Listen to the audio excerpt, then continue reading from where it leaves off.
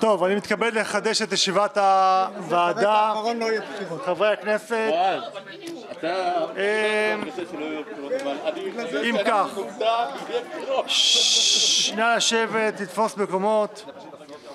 אה, אם כך, אנחנו רוצים אה, לעבור להצבעה כאמור, אה, כשהמועד המוצע לבחירות אה, לכנסת העשרים-וארבע יהיה אה, ה-16 למרץ 2020, ג' ניסן התשפ"א,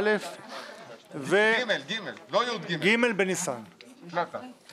והחלופה אה, לעניין ההלוואות של פינדרוס, בסדר?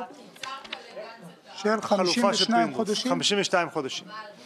אה, אם כך, אנחנו נעלה את זה להצבעה, מי שנגד מי מדינת שב- ישראל יצביע בעד. עם החלופה של פינדרוס. ואין חלופה של- אמרתי, תעמולת הבחירות. תהיו בשקט תשמעו.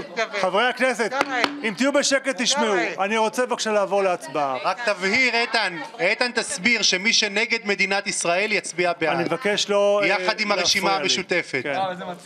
אם כך, מי שמעתי שגם ב- גדעון סער ש- בשמאל. אה, חברים, אנחנו בהצבעה, אני מבקש לא להפריע. אה, חברת הכנסת פרידמן, אנחנו באמצע ההצבעה, לא לא לא הצבעה.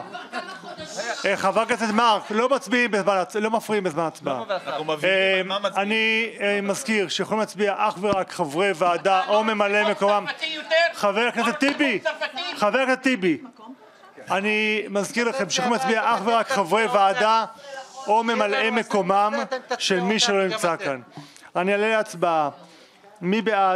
הצעת חוק התפזרות הכנסת העשרים ושלוש לפי התיקונים שהועלו בדיון לאורך כל אה, אה, הדיונים שהיו כאן וההקראה והתיקונים שאמרתי עכשיו ירים את ידו. כולל סתימת הפיות לימין. ששש, לא להפריע בזמן ההצבעה. כולל בקריאה סתימת השנייה. פיות לימין ונגד מדינת ישראל. עשרה בעד. עשרה. מי נגד? פינדרוס, מה? קרעי. רם, אתה זוכר שרציתם. להקים ממשלה עם בל"ד? שבעה. פינדרוס, מי נמנע? אין.